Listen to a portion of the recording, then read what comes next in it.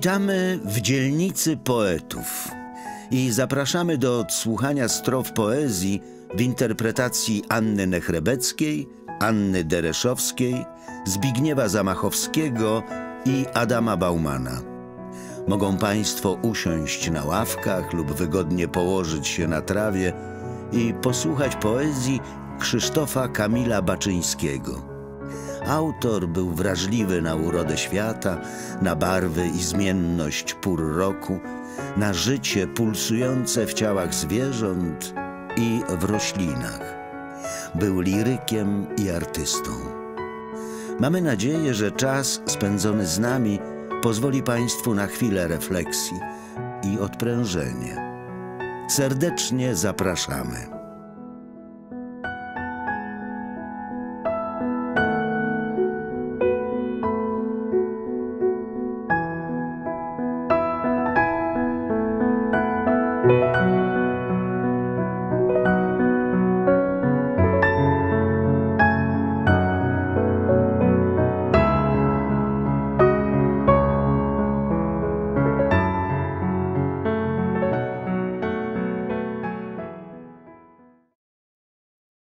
Piosenka. Ja, cień, który zgubił człowieka w dalekich miastach zdarzeń, podniesiony do potęgi nocy, chodzę w czwartym wymiarze. To pieśni zardzewiałe dymią. Ulata anioł ze światem w dłoni, kiedy zgarbiony od wspomnień odmawiam tysiąc płatków jabłoni. Dziś, jak co rok, zarasta chmury ludzi gęsty las. Anioł ze światem w dłoni od lata.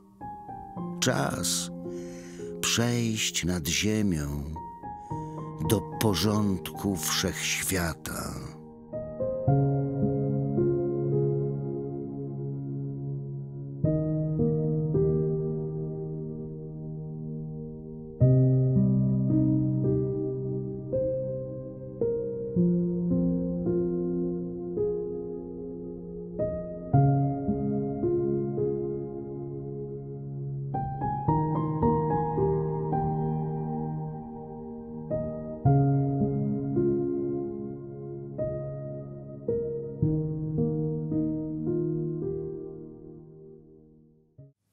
Stare miasto. Księżyc zadymiony niebem rozlepia plakaty, żółte plamy ciszy. Posłuchaj. Ulica schodzi w mrocznym żlebie w rzeki zgęstniałych gwiazd. Można usłyszeć, jak miasto brodzi w neonowym szumie Reciny ulic wypukle odchodzą w rzeki domów, pękają w średniowieczne place, obszernie. Patrz. Rycerze jadą dołem w półżałobnej czerni.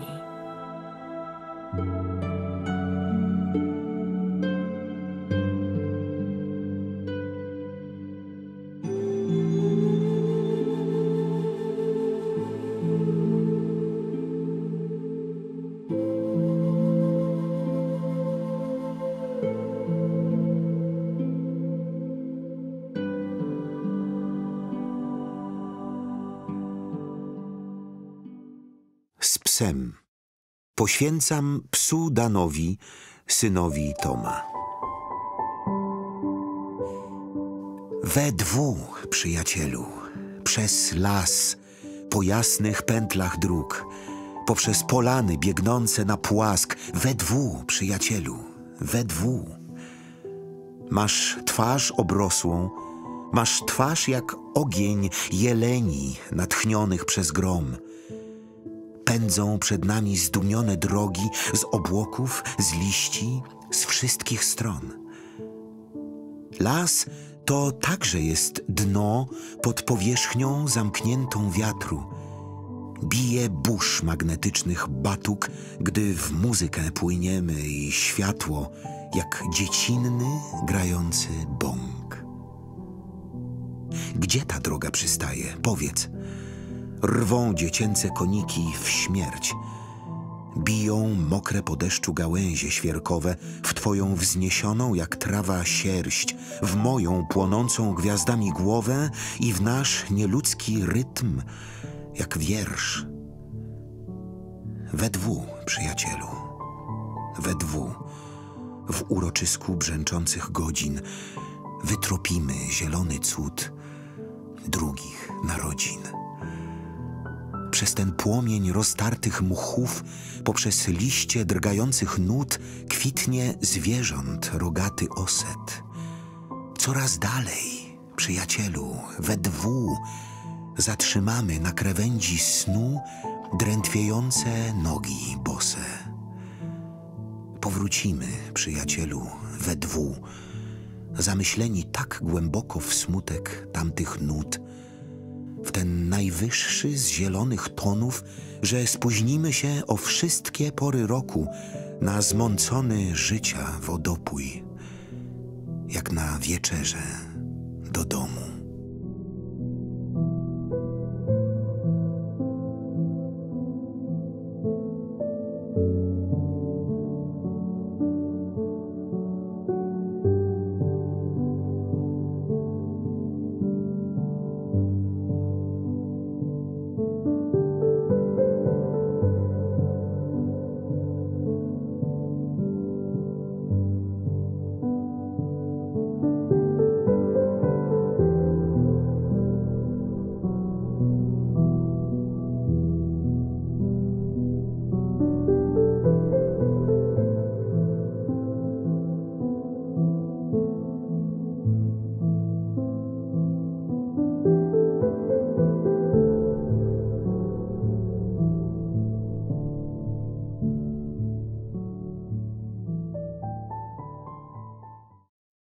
Źródło Basi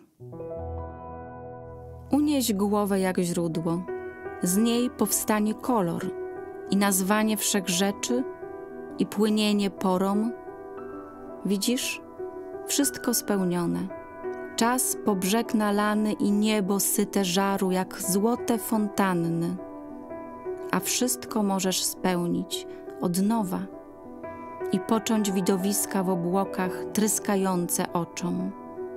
I wszystko, co przypomnisz, będzie jak czas głuchy, nad którym jak nad ciałem zawirujesz duchem, bo kochać znaczy tworzyć, poczynać w barwie burzy rzeźbę gwiazdy i ptaka w łun czerwonych marmurze.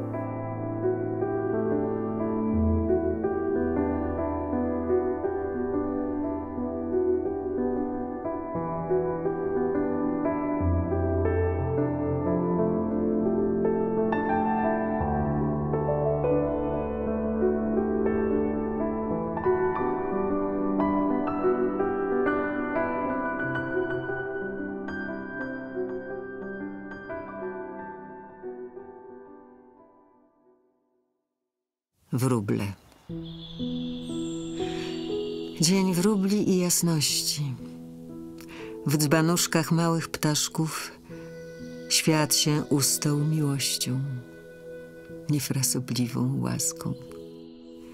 Na wyciągnięcie ręki mam czystość ich, puszystość, jakbym dotykał ciebie gałęzią ich wielolistną. Niebo się ziemi skłania, leżąc śniegiem na drzewach. Oczy mrużysz, zasłaniasz, piórka w blasku nagrzewasz. Nie zerwiesz się, nastroszysz ciepło ptasiego futra, odpowiesz wróblim głosem w moją ciemność, malutka. Bo na tym śniegu ludzie, my z ciemnymi sercami. Ziemia przez nas zabita, rzeszą twych ptaków czystych. Módl się za nami.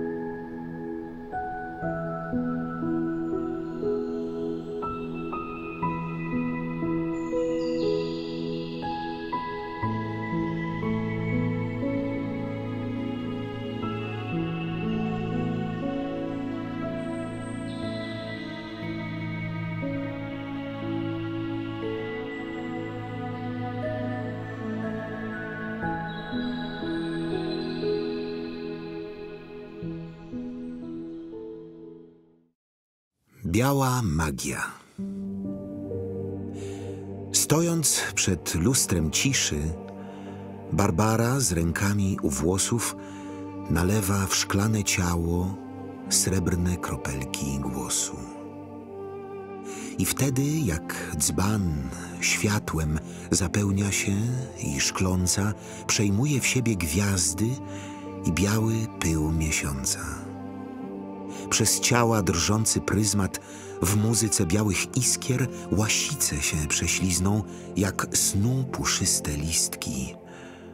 Oszronią się w nim niedźwiedzie, jasne od gwiazd polarnych i myszy się strumień przewiedzie, płynąc lawiną gwarną, aż napełniona mlecznie w sen się powoli zapadnie, a czas melodyjnie osiądzie kaskadą blasku na dnie. Więc ma Barbara srebrne ciało, w nim pręży się miękko, biała łasica milczenia pod niewidzialną ręką.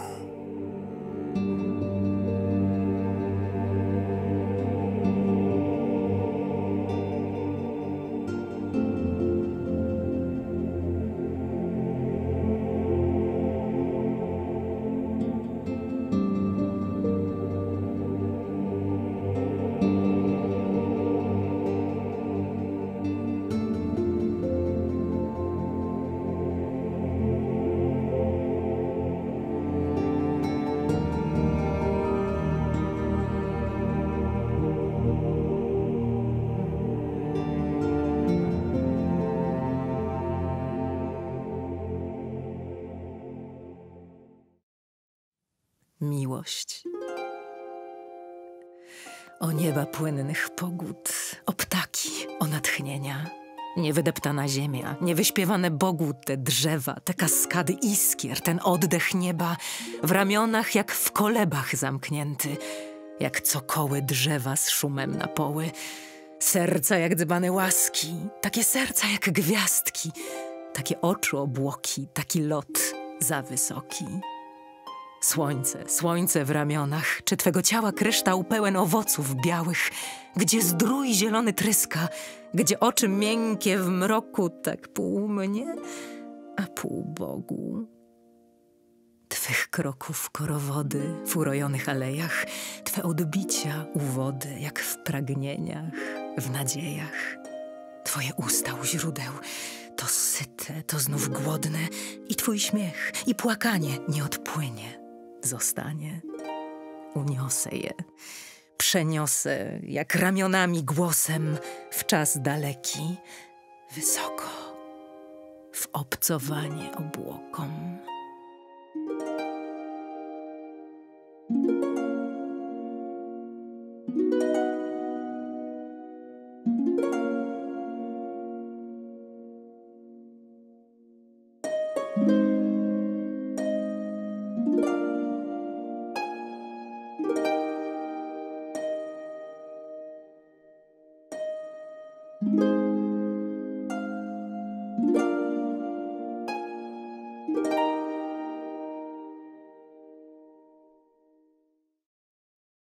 Idylla kryształowa. Mały pastuszek tnie gałązki lip, a gałązki są śpiewne jak flety, są ptakami, przywierają do szyb, jak do oczu płaczącej kobiety. Siano prześnione jest widmem i drży w zielonej rosie wiolin. To sny ukochana z idylli. To sny. W snach flet jak serce boli. Mały pastuszek prowadzi stado błękitnych smoków przez ugór z kryształu, a smoki smutnie nad lasem się kładą i w kołysanki układają ciało. Potem do źródeł, gdzie gwiazdy jak jaskry świt porastają cieniutko jak len. Tam dogasają w wodopój jasny oczy pastuszka i smoków sen. Wtedy na flecie długim jak wiatr pastuszek białą łanię wabi w sen delikatny i wątły jak kwiat, w sen wracający łzami. Jak z drzwi otwartych, z świergotu cykat przychodzi cień, jak cień pochodni. Spełniony łanią czeka i wzdycha trującą lipową melodię. A nici wiolin wokoło zaciska flet przemieniony w trzepot motyli. Niebo jak bańka napięta pryska. Pryska przejrzysta łania idylli. Wtedy pastuszek gna smutne smoki na krawędź nieba i długo wabi swą śmierć samotną z czarnych obłoków w sen wracający łzami.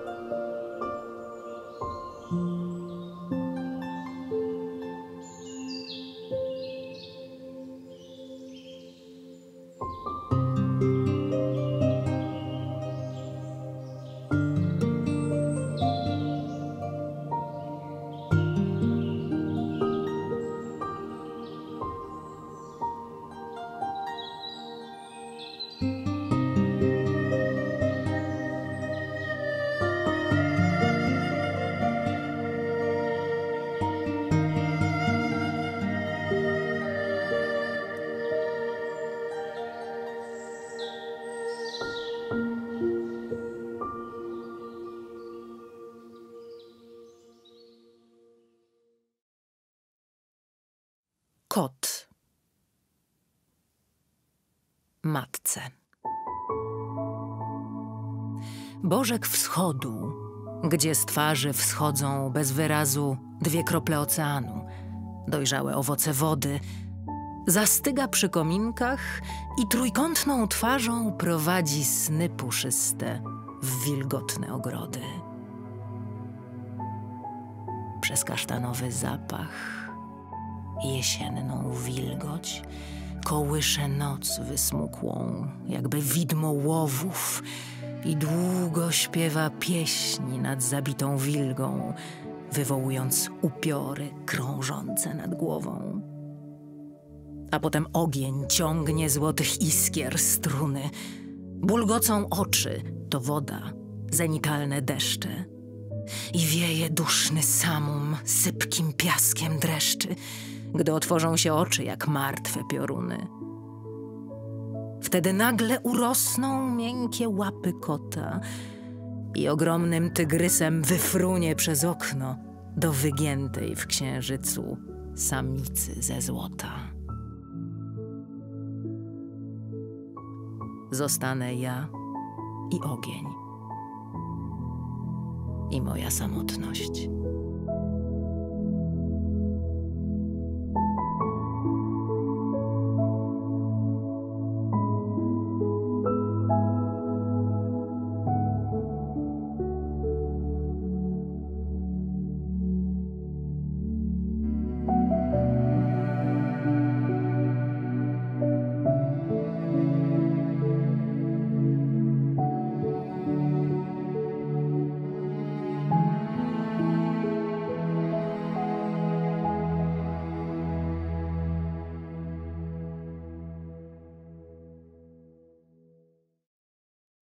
Niebo złote ci otworzę.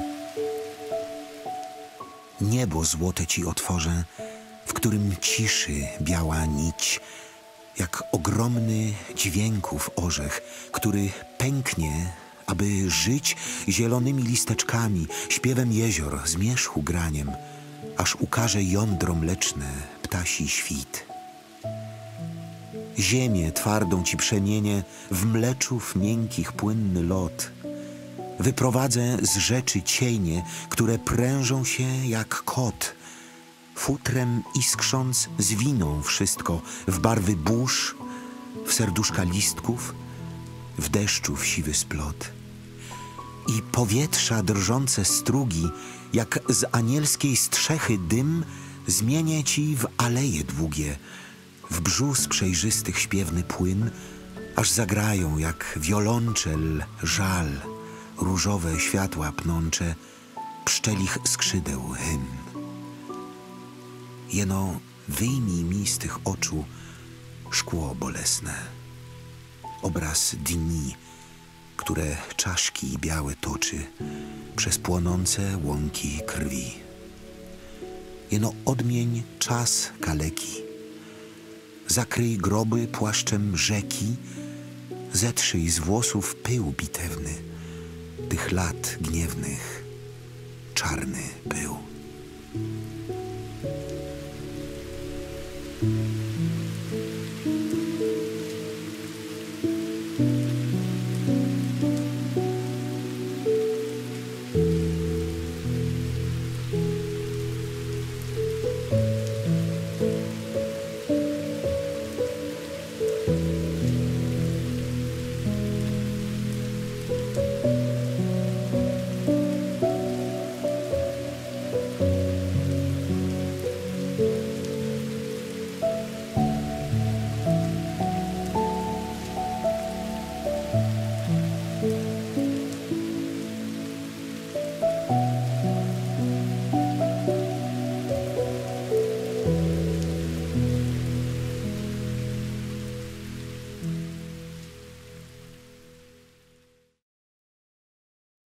Z głową na karabinie. Nocą słyszę, jak coraz bliżej, drżąc i grając, krąg się zaciska. A mnie przecież zdrój rzeźbił chyży. Wychuśtała mnie chmur kołyska. A mnie przecież wody szerokie na dźwigarach swych płatki bzu dzikiego bujne obłoki były dla mnie jak uśmiech matki. Krąg powolny, dzień czy noc krąży. Ostrzem świszcząc, tnie już przy ustach. A mnie przecież tak jak i innym. Ziemia rosła tęga, nie pusta. I mnie przecież jak dymu laska wytryskała gołębia młodość. Teraz na dnie śmierci wyrastam. Ja, syn dziki mego narodu. Krąg jak nożem zwolna rozcina, przetnie światło, zanim dzień minie a ja prześpię czas wielkiej rzeźby. Z głową ciężką na karabinie. Obskoczony przez zdarzeń i zamęt, kręgiem ostrym rozdarty na pół, głowę rzucę pod wiatr jak granat, piersi zgniecie czas czarną łapą bo to była życia nieśmiałość, a odwaga, gdy śmiercią niosł. Umrzeć przyjdzie, gdy się kochało. Wielkie sprawy głupią miłością.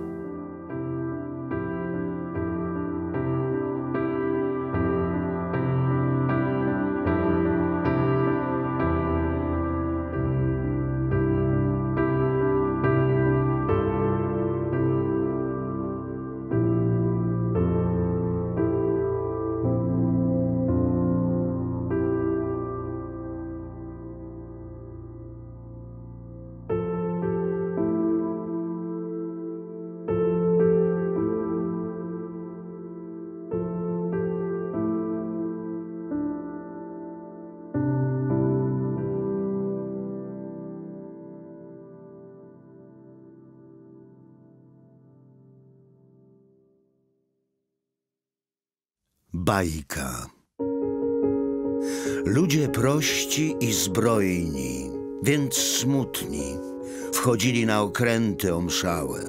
Niebo grało podobne do lutni, srebrnej chyba, i kwiatem pachniało.